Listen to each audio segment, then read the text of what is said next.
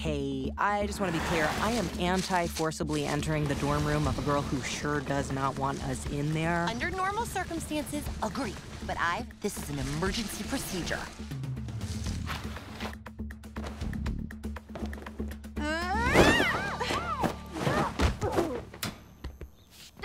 Babs, don't shoot! Isadora? You work for Harley Quinn? Ah. Wait, No! Heck, if anything, I want someone to take down the Riddler. Hey, Wayne Box! Play Party Mix and turn it up. Look, there's some seriously terrible stuff that's been going on here ever since Riddler took over. Like, what kind of stuff? Well, like we used to have a really good basketball team, and all the best players just disappeared. And let's just say it wasn't because they went pro, okay? I mean, they were good for Division Two, but you know, What I, are you saying? I'm saying students are disappearing. Riddler's behind it, and I want to take him down.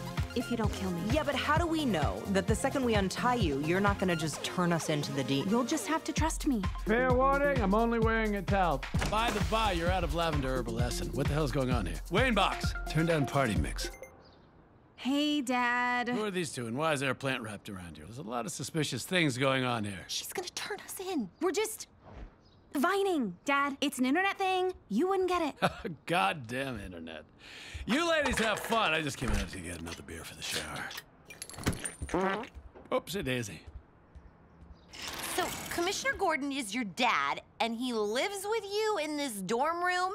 he snuck in before the Riddler took over. It's been a rough couple months for both of us.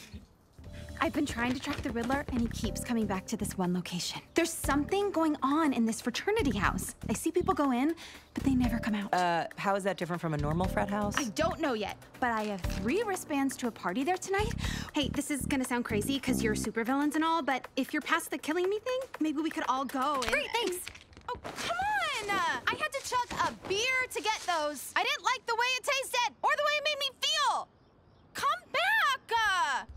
So, explain that vining thing to me. Is that something you and I could do? Would that be weird? That'd be weird.